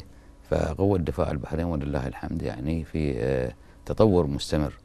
ولها مساهمات آه، جليلة وكبيرة سواء كانت في حفظ الأمن آه، في إعادة الأمن في اليمن وحرب الكويت ومرافقة آه، السفن ال- البحرية في حفظ السلام في مياه ال- ال- الخليج العربي. وكذلك أيضا مساهمتها ومشاركتها مع الدول العربية والشقيقة والصديقة في آه، التمارين ال- العسكرية التي يقومون بها سواء كانت على مستوى السلاح الجو أو على المستوى المشاة أو على مستوى البحرية. فولله الحمد يعني قوة دفاع البحرين. في تطور مستمر سواء في هذه في في كافة المجالات. وأيضا لديها من الكفاءات العالية أيضا من أبنائها الذين تعتز آه، قوة دفاع البحرين ب آه، قدراتهم وإمكانياتهم في آه، هذا المجال. دكتور آه، عدنان صباحك بخير مرة ثانية. وسهلا. حياك الله معنا. اليوم لو نتحدث عن وجهة نظرك الأكاديمية من تحقيق قوى الدفاع البحرين لإنجازات متميزة على مستوى التنمية البشرية بها سواء من خلال البرامج التأهيلية المختلفة أو من خلال البعثات والمنح الدراسية للدراسات العليا. آه، في البداية تقدم إلى مقام صاحب الجلالة الملك حمد بن عيسى آل خليفة. ملك البلاد المفدى وسمو الشيخ خليفة بن سلمان رئيس الوزراء الموقر وسمو الشيخ سلمان بن حمد آل خليفة ولي العهد الأمين ومعالي آه، المشير الركن الشيخ خليفة بن أحمد بالتهنئة بهذه المناسبة العزيزة على قلب كل مواطن بحريني ومواطنة بحرينية لأن تأسيس هذه القوة واستمراريته وقيادته للتنمية البشرية والتنمية الذاتية على مدى خمسين سنة ماضية. أعتقد بأنها قدمت نموذج آه، مميز في تأسيس الجندي البحريني آه، المحترف نعم. والذي تأكد فيه وتكرس فيه الولاء لقيادته ولبلاده ولأبناء شعبه في أكثر من محور وأكثر من مفصل تاريخي.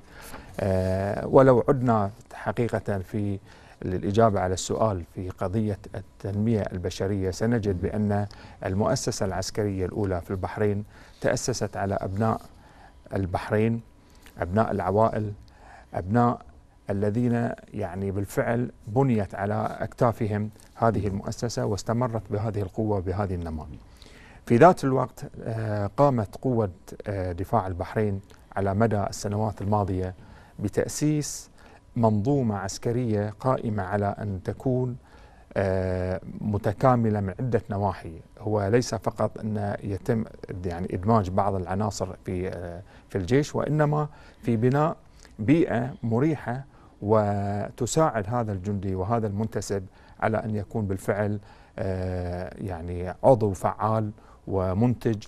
وأيضا آه، يعني تتكرس فيه آه، معاني القيادة ومعاني الولاء للقيادة السياسية.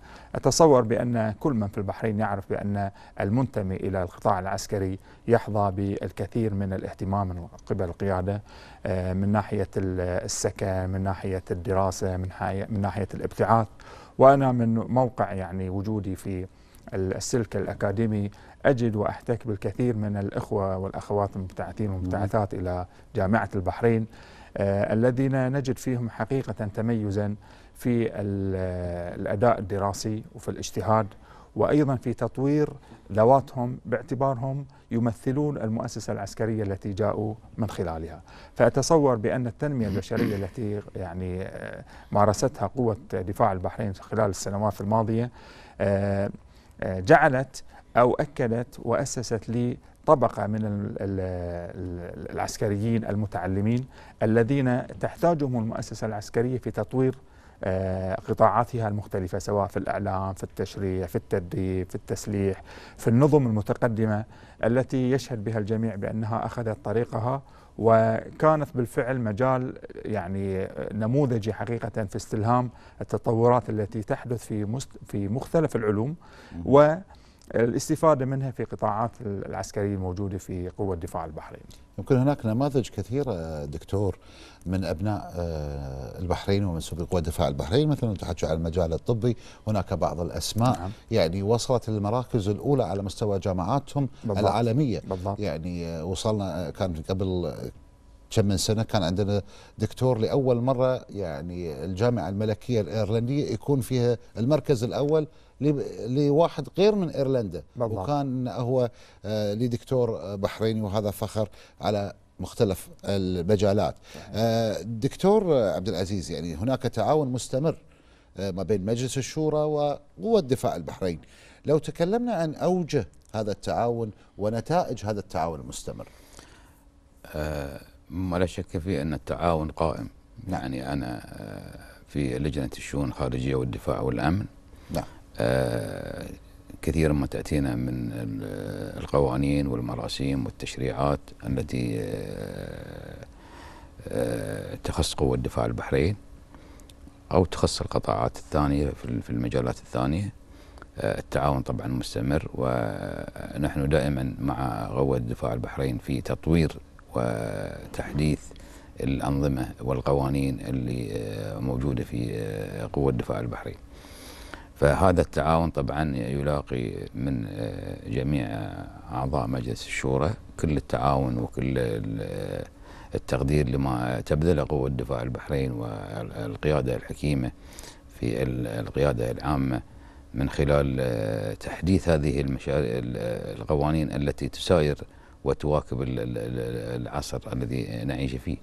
فهذه قوانين طبعا تمس حياة الجندي تمس العلاقات الداخلية العلاقات الخارجية التعاون في ما بيننا وما بين الدول الثانية في كافة المجالات التشريعية التي تتعلق يعني بالأمور الخاصة بقوة الدفاع البحري.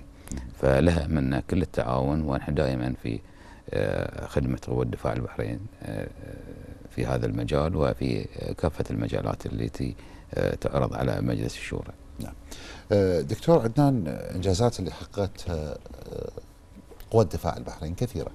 يعني خاصة فيما يتعلق بالارتقاء بالمستوى التعليمي لمنتسبيه لأن تكلمنا آه، من بعثات منح دراسية آه، دراسات عليا دورات برامج تأهيلية وتدريبية والعديد من الورش والندوات اللي تحرص قوة الدفاع على تنظيمها كيف تترجمون كأكاديميين جوانب هذا الإنجاز اللي يتحقق ويرتقي بالمجتمع ونرتقي نحن معه كمواطنين بحرينيين الحقيقة يعني آه، الكل يشهد في البحرين بالمنتسبين للمؤسسة العسكرية المتمثلة بقوة دفاع البحرين.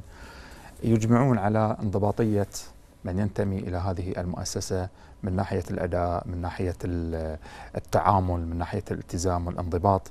وأعتقد بأن نتاج أي مؤسسة يخرج بكل بساطة في اللي هو المنتسبين لها. آه، لو عدنا في تاريخ قوة دفاع البحرين لوجدنا أن الجند البحريني والقوات البحرينية التي شاركت في تحرير الكويت نعم. والآن تشارك في آه، ضمن التحالف العربي في اليمن. هنالك يعني أنا سمعت يعني في من أكثر من من مكان وأكثر من جهة وأكثر من يعني صحفي ومراسل شارك في مثل هذه الحروب بانضباطية الجند البحريني. ويكاد يجمع هؤلاء الناس وهؤلاء المراسلين بأن الجند البحريني له خصوصية معينة وله يعني شخصية آه، عسكرية تكاد تكون يعني متفردة بين آه، القوات العسكرية المشاركة سواء في الكويت أو في اليمن. وهذا لم يأتي من فراغ وإنما أتى من آه، يعني جهد كبير جدا بذلته القيادة العسكرية عندنا في البحرين لإنتاج هذا الجندي وهذا الضابط وهذا القائد عندما يمثل نفسه في في المعارك وفي الحروب. وأتصور بأن ما أنتجته قوة دفاع البحرين في كافة المجالات سواء كانت العسكرية أو الطبية آه، أو الهندسية أو العسكرية آه، المنتسبين سواء كانوا من يعني عسكريين أو حتى مدنيين نجد بأن هنالك تميز حقيقة. وأنا أتذكر لما كنا ندرس في بريطانيا لما يأتي بعض الأخوة مبتعثين من قوة دفاع البحرين نجد بالفعل بأن هذا الرجل وكأنه سفير بلده. انضباطا آه، تفوقا في الدراسة آه، سمعة طيبة جدا جدا ومعروفين يعني المبتعثين من قوة دفاع البحرين بهذا السلوك في الجامعات البريطانية. آه، وحتى إحنا لما كنا نتعامل معهم نجد بأن هنالك نوع من يعني الحس الوطني والانضباط.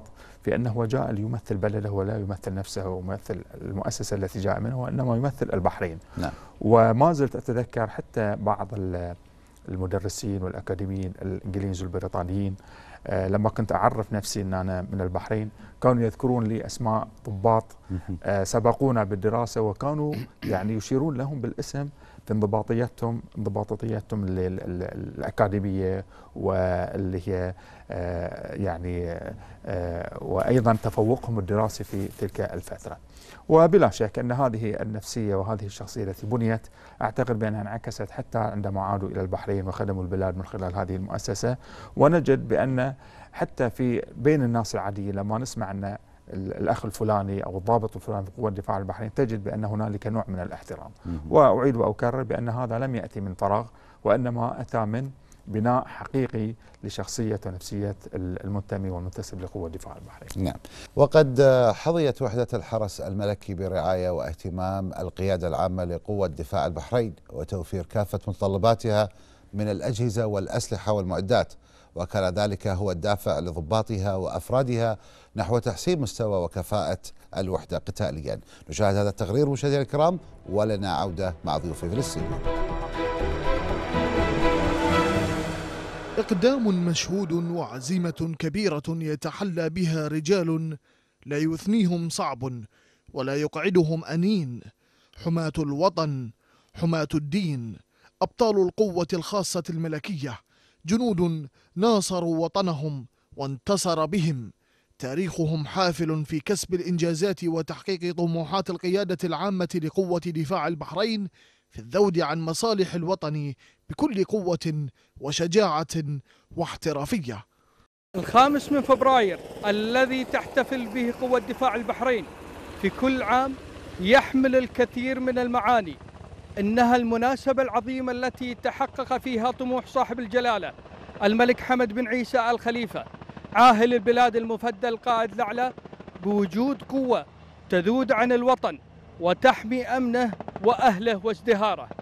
ومن هنا يحق لنا على هذه الأرض الطيبة أن نفتخر بما حققته قوة الدفاع من إنجازات كبيرة ومتواصلة في تجهيز وتدريب قواتها البرية والبحرية والجوية.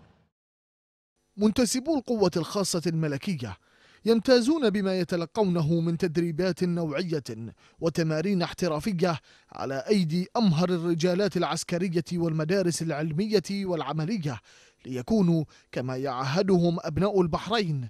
جندا يحفظون ما عاهدوا الله عليه صون الدين والوطن والمليك. ونحن في القوات الخاصة. يحق لنا أن نفخر بما حققته القوات الخاصة من إنجازات كبيرة ومتواصلة في تجهيز قواتنا في كل الميادين.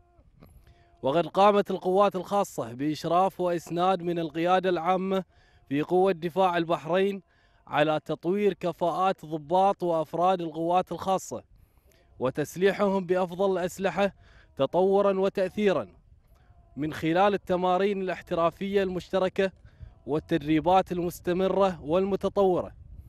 ونحن كما نجدد عهدنا ولائنا لقيادتنا الرشيدة في الاستمرار بالدفاع عن وطننا ومكتسباته ومصالحه داخل وخارج البحرين. هذه المناسبة التي لها مكانتها العزيزة في نفوسنا جميعا وفي نفوس كافة المواطنين المخلصين لدرعها الأمين والحصين الذي تمثل بالفداء والعطاء على ذكرى تأسيس قوة دفاع البحرين الخمسين عاما. تحت راية سيدي صاحب الجلالة الملك حمد بن عيسى آل خليفة عاهل البلاد المفدى القائد الأعلى حفظه الله ورعاه. مشاركات محلية ودولية وتمارين حية تهدف إلى الحفاظ على الجاهزية العالية التي يتمتع بها منتسبو قوة دفاع البحرين. وذلك نتيجة لتطوير الأجهزة والأسلحة المستخدمة وتوطين الخبرات والمهارات ورفع كفاءة ضباط وأفراد القوة.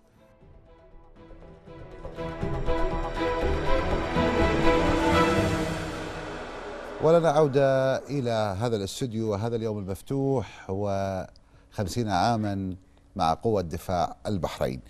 دكتور عبد العزيز تعتبر قوة دفاع البحرين قوة متطورة تعمل في إطار مؤسسي وبحرفية عالية في المجال العسكري. فهل السلطة التشريعية اليوم آه، ترى بأن قوة دفاع البحرين هي نتاج الرؤية الاستشرافية السامية لعاهل البلاد المفدى ما لا شك في أن قوة دفاع البحرين ولله الحمد يعني آه، هي في من ضمن آه، اهتمامات ورعاية كريمة من لدى سيدي صاحب الجلالة القائد الأعلى حفظه الله ورعاه. وتلقى آه، كافة الدعم من من جلالته في مجال تطوير قوة دفاع البحرين والوصول به إلى أحسن المستويات. وليس أدل على ذلك إلا مشاركة قوة دفاع البحرين في كثير من التمارين العسكرية التي بردت فيها وتفوقت فيها مع أخوانها في دول مجلس التعاون أو الدول العربية الشقيقة أو الدول الصديقة في كافة المجالات سواء كانت البرية أو البحرية أو الجوية. فهذا دليل واضح أن يعني ما وصلت إليه الجاهزية القتالية والتسليح في قوة دفاع البحرين من تطور يواكب التطور الموجود عند الدول المتقدمة آه، كالولايات المتحدة وبريطانيا وغيرها من الدول. التي يعني آه، هناك في مع- معها تمارين عسكرية وتمارين أيضا مع دول مجلس التعاون الذين أيضا هم على مستوى عال من ال- ال- الجاهزية القت- القتالية ومن ال- المستوى الرفيع في التسليح وكذلك الدول العربية. فتلقى كل الاهتمام والت- وال- والعناية من قبل جلالة الملك والقيادة الحكيمة سواء كانت السياسية أو العسكرية. وكذلك آه، نحن في مجلس الشورى طبعا آه، ندعم كل آه، التوجهات التي تسعى قوة دفاع البحرين من خلال تطويرها سواء كانت في التشريعية أو كانت في ال- التسليح. فتلغى من جميع كافة وسائل الدعم يعني ال- والتأييد في ما يخدم مصلحة البحرين.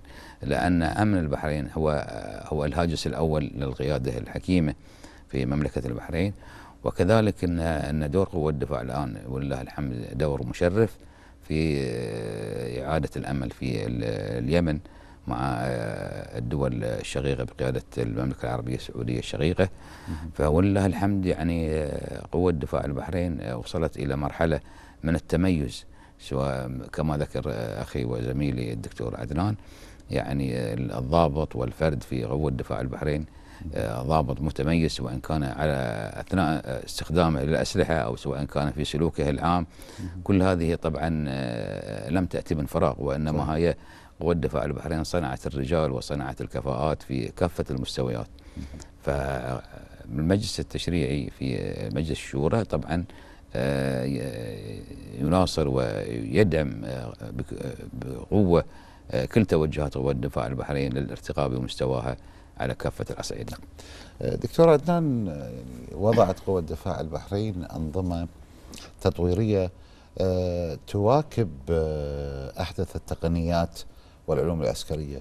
ذاك عندما تنظم قوة دفاع البحرين آه، المعارض العسكرية تحرص آه، على تنظيم ورش تدريبية وندوات مصاحبة المعارض فما أهمية آه، هذه الورش التدريبية والمحاضرات والندوات المصاحبة للمعارض العسكرية في تنمية مهارات منتسبي قوة دفاع البحرين آه، هو بلا شك يعني الآن كل العلوم بما فيها العلوم العسكرية آه، تمر بطفرة علمية وثورة معلوماتية هائلة جدا صحيح. جدا الجميل أن قوة دفاع البحرين واكبت هذه الطفرة من قبل تقريبا أستطيع أقول من قبل 20 أو 25 سنة آه، عندما بدأت في آه، توظيف بعض مهندسي الكمبيوتر والمعلوماتية منذ ذلك الوقت المبكر. نعم.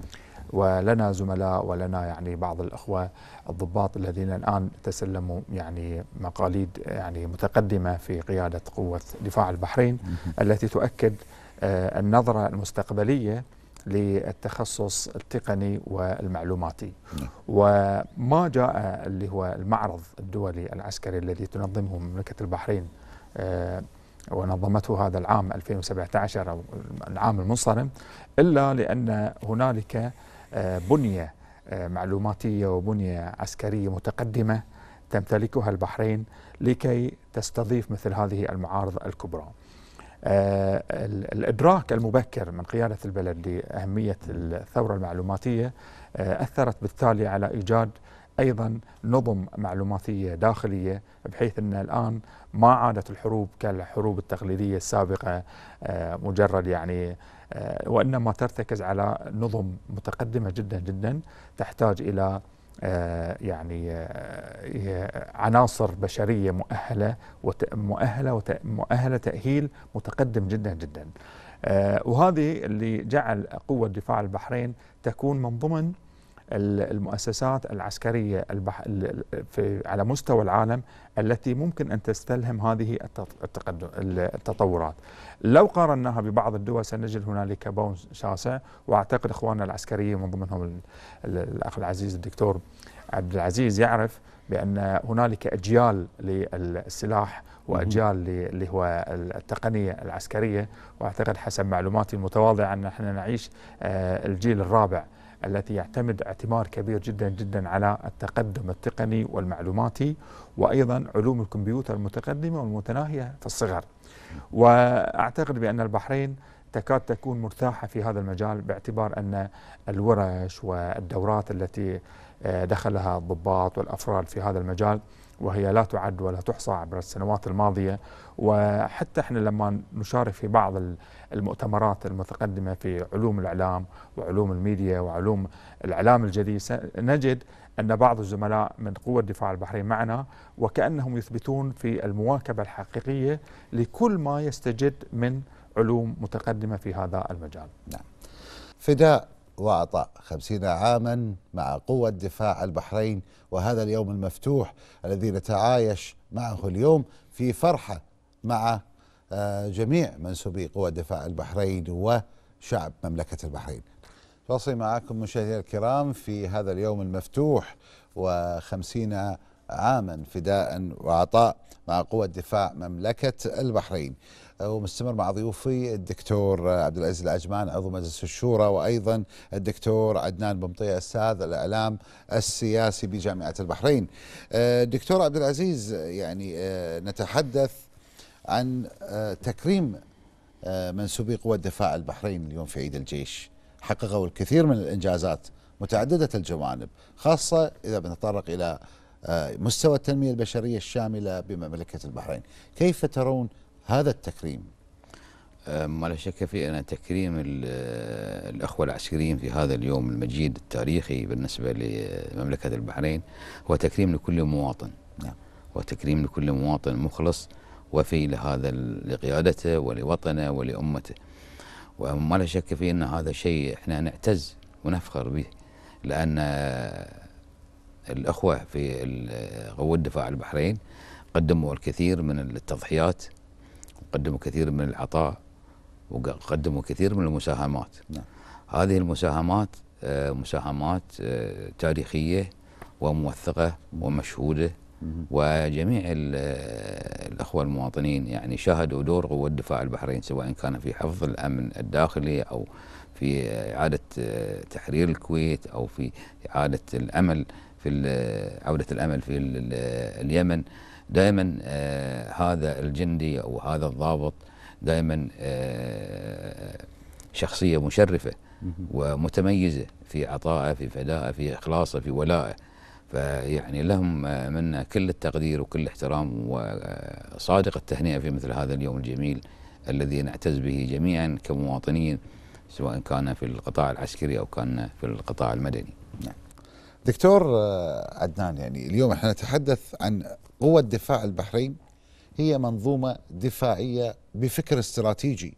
برأيك اليوم هل تعتبر يعني قوة دفاع البحرين نموذج ريادي مؤسسي متقدم إذا بنتحدث على الصعيدين الإقليمي والدولي؟ آه، بلا شك يعني قوة دفاع البحرين نتكلم عن مؤسسة عمرها الآن أكثر من خمسين سنة. خمسين سنة لو رجعنا إلى حتى نشأة دولنا الخليجية سنجد بأن هنالك تراتبية خلينا نقول آه، مبنية على منعطفات تاريخية حقيقية مرت فيها المنطقة آه، غزو الكويت آه، حرب الخليج الأولى والثانية الحرب الحالية في اليمن. وهذه منعطفات حقيقة كانت يعني شديدة ال- الانعطاف وذات يعني تأثير كبير جدا جدا في نمو قوة دفاع البحرين تحديدا يعني. ولم تصل قوة دفاع البحرين إلى هذا المستوى إلا لوجود فكر استراتيجي واضح قائم على شعار آه، جدا واضح أيضا وهو شعار الله الملك الوطن وهو شعار يحفظه يعني الكل سواء كانوا منتسبين لقوة دفاع البحرين أو خارج. فهذا الشعار تحقق في إيجاد المنظومة الفكرية الاستراتيجية العسكرية أو ما يسميها الأخوة العسكريين آه، العقيدة العسكرية الواضحة التي أنتجت لنا هذه المؤسسة المتقدمة في كافة المجالات. ولو قارناها سواء كانت مع دول صغيرة أو دول كبيرة سنجد بأن البنية العسكرية والإدارية والتنظيمية داخل آه، قوة دفاع البحرين قوة متقدمة وحقيقة يجب أن يفخر فيها كل بحريني. الاهتمام اهتمام قيادة ال- القيادة السياسية بهذه ال- المؤسسة. أثمر لنا وجود جيش بحريني قائم على أبناء البحرين برؤية وطنية ثابتة وواضحة تجعل بأن من من كل مواطن بحريني يفخر بهذه المؤسسة بلا أي تردد بلا أي خوف بلا أي يعني آه، آه، نوع من اللي هو المبالغة في في هذا المضمار. قوة دفاع البحرين هي بالفعل جيش البحرين القوي الواثق من نفسه والذي يثق فيه شعبه بكافة أطيافه ومؤسساته. كل تأكيد كل تأكيد دكتور. آه، دكتور عبد العزيز عجمان آه، ماذا تقول اليوم آه، لجميع منسوبي قوة دفاع البحرين في عيد الجيش اليوم وبمرور خمسين عاما لما قدموه من عمل متفاني في خدمة هذه الأرض الطيبة وقيادتها الحكيمة؟ والله أقول أهنئكم بهذا اليوم السعيد وهذا اليوم الوطني المجيد وهذا اليوم التاريخي الذي يجسد كفاءتكم آه، جميعا كافة منتسبي قوة دفاع البحرين فلهم منا التهنئة الخالصة لكل منتسبي قوة دفاع البحرين في هذا اليوم المجيد وأسأل الله سبحانه وتعالى أن يعيد هذه الأيام السعيدة والأعوام المديدة على قوة دفاع البحرين في ظل قيادة سيدة جلالة الملك القائد الأعلى حفظه الله ورعاه. دكتور عدنان ببطيع ماذا تقول في نهاية هذا اللقاء؟ آه، التهنئة الخاصة للقيادة السياسية والعسكرية التهنئة لكل فرد منتسب إلى قوة دفاع البحرين من أكبر ضابط إلى أصغر جندي. نقول لكم بأن هذا يومكم اللي هو يوم البحرين ويوم كل بحرين وبحرينية. ألف مبروك وإن شاء الله عقبال 500 عام قادمة إن شاء الله. إن شاء الله. اليوم فعلا نحتفي بالكثير من الإنجازات والأعمال التي دونت بكل فخر واعتزاز في سجل قوة دفاع البحرين وضافت المزيد من التقدم والنجاح في مسيرة البناء والعطاء. تحية إجلال واحترام لجميع منتسبي قوة الدفاع. مشاهدينا وصلنا لنهاية فقرتنا الصباحية ولكن تغطيتنا الخاصة بعيد الجيش ما زالت مستمرة مع باقي زملائنا ابقوا معنا.